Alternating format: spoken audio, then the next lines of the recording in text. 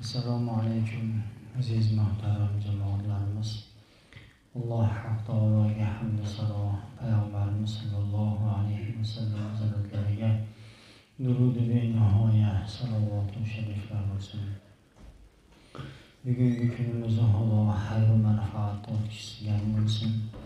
Kechalarimizni ertagalik kunlarimizni alloh taolo bundan yaxshi manfaat ila ibodati taqvo ila o'tkazishni alloh hammaga nasib etsin.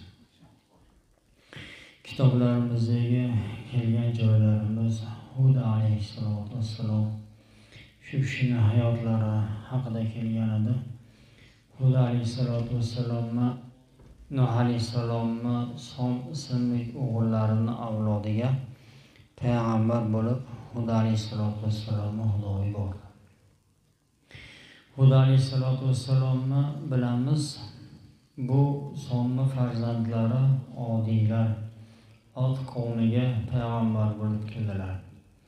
Bu kishi ham ibodatda va hamda ot qavmini dini islom to'g'ri haq yo'lga targ'ib qildilar. Illo ot qavmi kechaga aytganimizdek jasadda quvvatda baland bo'ylari ham uzun jismlari ham yo'g'on bo'lganligi uchun bular o'zini kuch quvvatiga ishonib qoldi. Biron bir balo biron bir ofat bizni hech narsa qilolmaydi hud alayhissalom bir necha marotaba qaytardilar. Ollohni g'azabi borligini bu g'azab og'ir va hamda kuchli ekanliklarini aytdilar. Illo bu odiylar o'zini jasadi quvvatiga ishonib bizga hech nima hech narsa qila olmaydi deb shunday javob berishdi. Kunlarni birida dedilar bir ayol bor edi. Bu ayol ko'rdi. Ko'rdiki bir shamol uchardi yurardi. Bu shamolni oldida shamolni oldisida o't avj urardi. Shu o'tlarni oldida shunaqangi bir maxluqotlar bordiki o'tni tobora shamolni tobora kuchaytirib borardi. Buni bir ayol ko'rdida o'zini insoniylik holatidan kelib chiqib turib toqat etmasdan hushidan ketib qoldi. Hushiga kelganda na'ra soldi qattiq baqiriq qildi. Buni eshitgan insonlar hayron bo'lib so'rashdi. Nima bo'ldi? Man ko'rdim bir shamolliki bu oddiy shamol emas edi. O't ila avj va hamda tobora kuchayib borardi. Bu shamolni boshqaradigan shunaqangi bir maxluqotlar bor ediki bu maxluqotlarni salobati haybati shamol kemasidan burun insonni yuragini yorardi.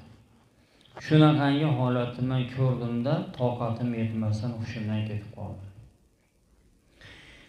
hud alayhissalotu vassalom bildilariki farmon ya'niki duoni ijobati xudoy taolodan bo'lgan insonlarga u g'azab boshlandi. Xudo alayhissalotu vassalom osmonga qarovdilar qora bulut egalladi ot qavmini ustini. Shunda alloh taolodan farmon keldi. Farmon xudo alayhissalomga keldiki nechta musulmonlar bo'lgan bo'lsa hammasini bir chekkaroq qirlik bo'lgan jazira tomonga olib chiqing va hamda bularni doira misoli o'ring. Xudo alayhissalotu vassalom aytadilarki bu musulmonlarni jaziraga ya'niki cho'lga olib chiqib ibn abbos roziyallohu anhuni rivoyatlariga ko'ra shunday kelgan ekanki o'sha hammalarni bir joyga musulmonlarni yig'ib doira shaklidagi yerni chizgan ekanlar. Aytgan ekanlarki bu doiradan chiziqdan bag'iga o'tmanglar. Qachoniki sizlar mana shu doirani chiziqdan bag'i o'tsalaringiz sizlar mana shu doirani ichidagi xudoni himoyasi bo'lib turgan qar'ondan sizlar o'tgan bo'lasizlar. Aytadilarki bu doirani ichida turgan musulmonlarga o'sha olloh taolodan odiy qavmlarga balo bo'lib kelayotgan shamol mayin chiroyli shunaqangi insonni tanasiga yoqadigan shabada bo'lib urib turardi. Chegarani o'sha chizig'ida ag'di esa azob uqubat qattiq bo'lardi. Aytadilarki bu shamolda alloh taolo bir necha ming farishtalarga temir zanjirlarda mahkam ushlab turardi. Bir zanjirda bir zanjirda yetmish ming farishta ushlagan joyi ham bo'lardi dedilar. Shamolni shunaqangi bir xudoy taolo mahkam ushlab turgan edi. Farmon xudoy taolo qildiki farishtalarga yerda teshigini ho'kizi sig'adigan darajada teshinglar. O'sha teshikdan ot qavmiga shamolni yuboringlar. Bu farmonni eshitgan farishtalar xudoy taologa nola qilishdiki ey olloh bu ho'kiz sig'adigan yerni tezsagu mana shu teshikdan agar biz shamolni qo'yadigan bo'lsak odamlar emas balki tog'lar ham chang turpoq bo'lib ketadi. Farmoningni o'zgartir insonlarga rahming kelsin degan nolani farishtalar qilishdi. Shunda alloh taolo rahmdil zot farmonini uzuydi teshigicha teshinglar yerda ot qavmiga shamolni jo'natinglar. Bu farmon ijobat bo'ldi. Farishtalar yerda teshishdi. Teshilganda ham uzuk misoli yumalaq shaklda kichkina qilib teshib shamolni yuborishdi. Shamolni yuborilganda aytadilarki odiylarni bir toifasi bir jamoasi o'zini uyini ichiga kirib oldi saqlanishlik uchun. Lekin bu shamol uyni shunday yer peri bilan odam podamni osmonga olib chiqib ularni qo'yib yubordi. Uylar odamlarni bosib hammasi halok bo'ldi. Bir jamoasi dedilarki yerni ko'lab yerni tagiga kirib mana endi xuddi shamoli bizni hech nima qilmaydi dedi. Lekin xudo farmon qildi o'sha yerni ko'lab kirib ketgan ot jamoasini odiylar jamoasini o'sha xudoy taolo turpoq purpoq hovuz povuz o'sha chuquri bilan osmonga olib chiqib chang to'zoni bilan yerga tashladi. Bir qavmni aytadilarki o'sha odiylarni bitta jamoasi o'zlarini bular o'shalar hammasi g'orga berkinib oldi. G'orga berkindi g'orga berkinda ham mana endi xuddi shamoli bizni hech nima qilmaydi dedi. Lekin xudoy taolo farmon qildi o'sha g'ordagilarni ham har birini alohida alohida shamol olib chiqdi dedilar xolxol degan bitta qovun boshi bor edi sardor bor edi. Bu odiylarni ichida kuch jihatdan ham baquvvat edi. Bo'y jihatdan ham uzun edi. Bu mol davlat jihatdan ham moldor edi. Va hamda yoshi ham katta edi sardor edi. Mana shu hol holda qavmi dedilar ya'niki o'sha bir jamoasi guruhi bitta g'orga kirdilar. G'orga kirib o'zlarini bayladilar. Arg'amchilar bilan zanjirlar bilan shunaqangi mahkam baylashdiki bu baylangan odamlar o'zlarini aqllari yetganicha toqqa baylashdi. Hammasi bayladi.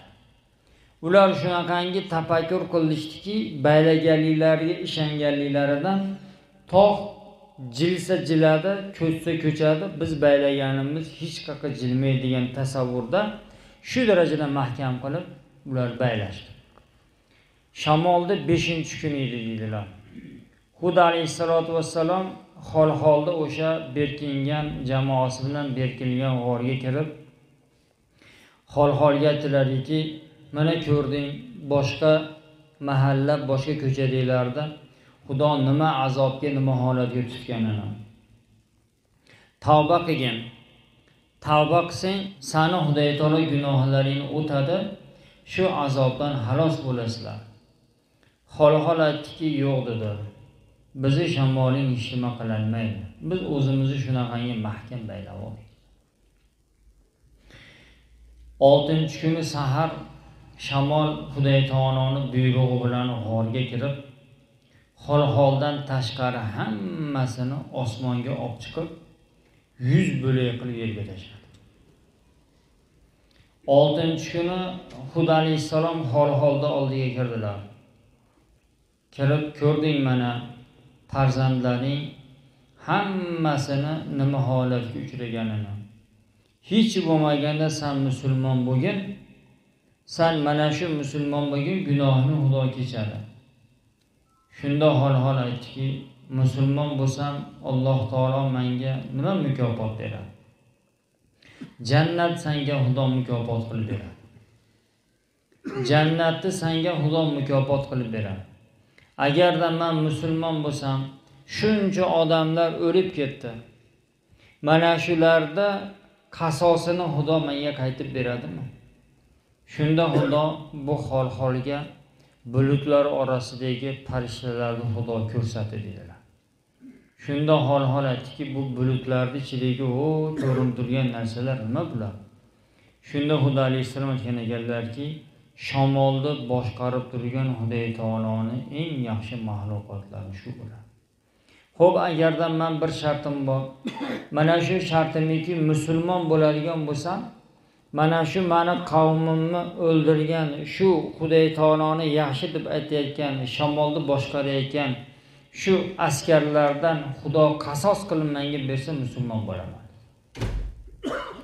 Shunda xudo alayhissalom aytdilarki nodon san dunyo hayotida biron bir podshohni ko'rganmisanki o'zini lashkaridan qasos olganini bu xudoy taoloni xizmatida turgan sizlarni zararlaringga xizmat qilayotgan xudoy taoloni buyrug'ida turgan shamol egalari farishtalar bu san aytayotgan narsa bo'lmaydi. Bo'lmasam man musulmon bo'lmayman buni ham alloh taoloni buyrug'i bilan yettinchi kuni alloh taolo farmoni bilan holda ham osmonga olib chiqib yuz bo'lak qilib xudo jazo qildi. Bu shamol yetti yetti kecha sakkiz kunduz bo'lgan ekan yetti kecha sakkiz kunduz bo'lgan ekan shamolda aytadilarki shunaqangi bir bu qavmga berilingan bu shamolni o'sha uzukni teshigidan chiqqan bu shamolni bu holatini ham hay'atini ham o'sha doirani ichidagi musulmonlar ham xuddi alayhissalotu vassalom ham tafsir tasavvur qilib berolmagan ekanlar. Bu azob shamoli. Buni biron bir narsaga o'xshatishlik ham biron bir shaklga misol qilishlik ham o'sha mahalda ham bu xudo alayhissalotu vassalom musulmonlar ham shakllab berisha olmagan ekan. Bu alloh taoloni o'sha musulmon bo'lmaganligi va hamda o'zini payg'ambari xudo alayhissalotu vassalomga ishonishmagani iymon keltirishmaganligi alloh taolo bor birligiga iymon keltirmagan o'sha qavmni xudoy taolo shunday balo bilan baloladi shunday azob bilan azobladi. Inshaalloh yana ertagagi kunda davomlari xudo xohlasa aytib beraveramiz. Alloh taolo har birlarimizni alloh taoloni bu boshqa qavmlarga qilinayotgan balo ofatni alloh bizlardan yiroq qilgin. Hayotimizni xudo chiroyli qilgin. Payg'ambarlar sahobalar olim ulamolarni so'zlaridan chiqmagan holatda ibodatda taqvoda turishda alloh hammamizga nasib etgin ya arham.